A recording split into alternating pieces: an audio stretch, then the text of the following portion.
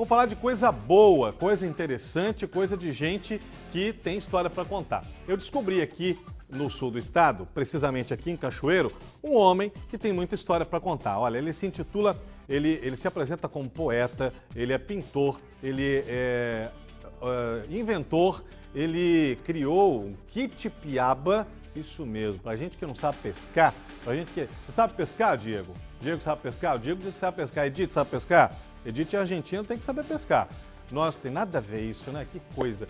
Enfim, o kit piaba do Zé. Vamos ver o que é o kit piaba do Zé. Esse homem, entre outras coisas, fez um filme.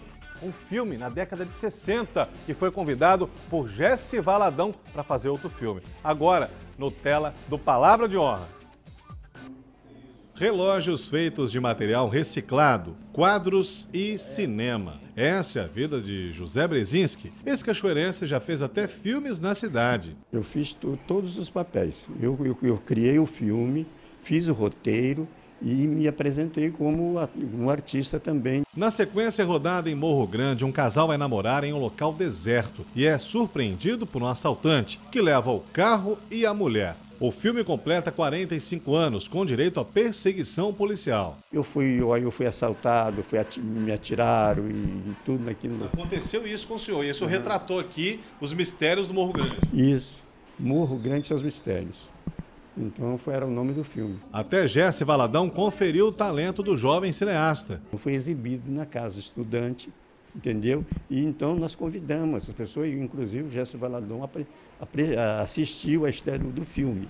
Mas o José Brzezinski não aceitou fazer o filme do famoso ator e cineasta cachoeirense. Por causa da, da, das cenas eróticas que ele queria que eu fizesse, então eu já era casado naquela época, então não, não dava para o senhor mais. Não, não homem sério. Então foi, paro, foi parado por ali e ele ficou. São mais de 500 quadros, alguns foram para o exterior. Os relógios feitos de material reciclado são exclusivos. Qualquer peça que eu acho, por exemplo, que desde que tem um comportamento para mim que, que, que, dá apoio a uma máquina de relógio, então eu faço o relógio. Igual eu tenho de ferro de passar roupa, de, de de, de vários tipos de, de, coisas. Aqui no cartão de visitas do seu Brzezinski diz que ele é cabeleireiro estilista, artista plástico, inventor e artesão, compositor, escritor e poeta, mas é aqui do Rio Itapemirim que ele tirou inspiração para criar o kit Piaba do Zé. Tentei desenvolver um que tivesse mais durabilidade, porque a gente às vezes comprava um, que você chegava, dava uma pescada ali, chegava em casa e já acabou o kit. Então eu produzi um que ele tem até um ano de garantia. Revisando o kit Piaba, o Brzezinski garante que qualquer um consegue pescar. É só jogar o kit na água, não precisa fisgar, não precisa... Faz fácil. É, a boinha não deixa ele fundar, ele fica em cima da ele apoia, ele, ele, aí os peixinhos vão pegando e vai só dando aquele balançozinho assim. E o Rio Itapemirim também inspira as poesias que serão lançadas em livro. Conheci o Rio Itapemirim com suas águas cristalinas, de cascata em cascata, correndo em direção ao mar. Hoje eu fico triste quando paro para olhar.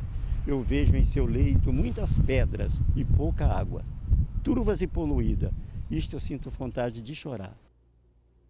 Esse é o Zé Brezinski, né? O poeta, pintor, inventor, cineasta e foi ator, roteirista. Ó, o cara é fera. É o figuraça da semana aqui do Palavra de Honra. Parabéns aí ao Zé Brzezinski, que mantém viva aí, né, essa, essa chama de viver, de aproveitar a vida, de inovar, de se reinventar a cada dia. Então, foi muito bacana fazer essa matéria aí e descobrir. Você viu por que, que ele não quis fazer o filme com Jesse Valadão? Ele disse ali, olha, tinha cenas de sexo, cenas eróticas. Ah, tá bom. Vamos agora Continua, ela tá chegando, é a Loura tá chegando, é a Ilusa tá chegando, a Ilusa Xavier tá chegando. Um programa maravilhoso, delicioso o programa, não perca. E amanhã vamos falar aqui de um outro assunto muito sério, que é a castração de animais é, animais abandonados na rua. A lei foi aprovada. O município tem dinheiro? Vamos saber amanhã aqui no Palavra de Honra. Nosso encontro amanhã, 18 horas, ao vivo, pela Record News Espírito Santo. Uma boa noite e até daqui a pouco no Hora News, edição da noite. Record News, a líder em notícias.